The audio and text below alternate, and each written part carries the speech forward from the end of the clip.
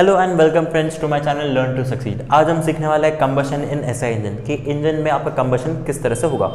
आपका यहाँ पर सबसे पहला स्ट्रोक होता है सक्शन स्ट्रोक फिर आता है कंप्रेशन स्ट्रोक फिर आता है expansion and then last stroke होता है आपका एग्जॉस्ट स्ट्रोक तो आपका यहाँ पर सबसे पहले, जब बॉटम डेड सेंटर से कंप्रेशन स्टार्ट होता है बॉटम डेड सेंटर से पिस्टन मूव करता है टॉप डेड सेंटर तक तो उस केस में आपका क्या होता है कि वहाँ पर आपका कंप्रेशन स्टार्ट हो रहा है, आपका एयर फ्लूड मिक्सचर कंप्रेस होने वाला है, उसमें प्रेशर का इंटेंसिटी बढ़ेगा और वॉल्यूम कम होगा। तो यहाँ पर प्रेशर इंक्रीज हो रहा है। तो ये बी से सी तक में जब जा रहा है तो बी से सी तक के टाइम में हम वहाँ पर स्पार्क इग्नाइट करते हैं एंड देन बाद में एक्सपेंशन आता है। अब हम देखते हैं कि अपना कंबशन के तीन तीन स्टेजेस किस तरह से होते हैं। तो जब हम यहाँ पर अपना कंप्रेशन स्ट्रोक स्टार्ट हो रहा है तो टॉप डेड सेंटर पर पहुँचने से कुछ 20 डिग्री पहले स्पार्क इग्नाइट किया जाता है। अब वो स्पार्क इग्नाइट किया है तो एयर फ्यूल मिक्सचर में प्रॉपरली बर्न होने के लिए जो टाइमिंग लगता है, वो होता है आपका इग्निशन लैग तो फ़र्स्ट स्टेज जो होता है कंबर्शन का, वो होता है इग्निशन लैग मतलब जब आपने स्पार्क प्रोड्यूस किया है उस स्पार्क्स को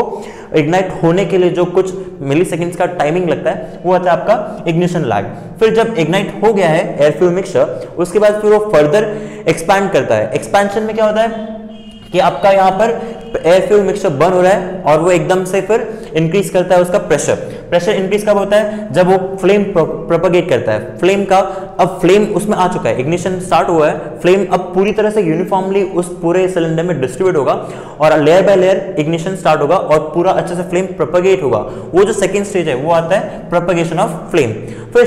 थर्ड स्टेज आता है जब आपका एक्सपेंशन स्टार्ट हो रहा है। अब क्योंकि आपका वहाँ पर प्रेशर बढ़ गया है, अब पिस्टन को वापस से नीचे आना है, वो पुश करता है पिस्टन को, वो प्रेशर की वजह से पिस्टन नीचे की तरफ़ मूव करता है। वो आता है आपका एक्सपेंशन स्ट्रोक एक्सपेंशन स्ट्रोक में फिर वो आफ्टर बर्निंग प्रोसेस है। आफ्टर बर्निंग मतलब जब आपका स्पार्क से इग्नाइट हो गया, फिर प्रोपोगेट हो गया फ्लेम उसके बाद का जो पूरा बर्निंग चल रहा है, वो होता है आपका आफ्टर बर्निंग प्रोसेस तो इस तरह से आपके तीनों प्रोसेस कंप्लीट होते हैं और ये होते हैं कंबशन के कुछ स्टेजेस तो यहाँ पर ध्यान में क्या रखना कि यहाँ पर प्रोपगेशन ऑफ़ फ्लेम और उससे पहले जब इग्नाइट होता है तो टॉप डेड सेंटर से 20 डिग्री पहले ही आपका spark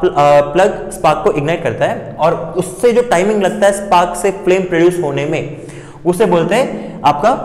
ignition lag and then जब फ्लेम प्रॉपरली पूरा बर्न होता है, उसे बोलते हैं आपका प्रोपगेशन ऑफ़ फ्लेम एंड जब पूरा फ्लेम बर्न हुआ, पूरा एयर फ्यूल मिक्सचर बर्न हुआ, उसके बाद वाला जो प्रोसेस होता है, उसे बोलते हैं आफ्टर बर्निंग प्रोसेस जो कि ये तीन स्टेजेस में आपका कंबशन होता है. दोस्तों, आज हमने सीखा है कंबशन इंजन कंबशन इन ऐसा इंजन तो अगर आपको मेरा वीडियो अच्छा लगा है, मेरा पढ़ा हुआ समझ में आ रहा है तो प्लीज़ मेरे वीडियो को लाइक कीजिए, अपने दोस्तों के साथ शेयर कीजिए, और मेरे चैनल को सब्सक्राइब भी कीजिए. Thank you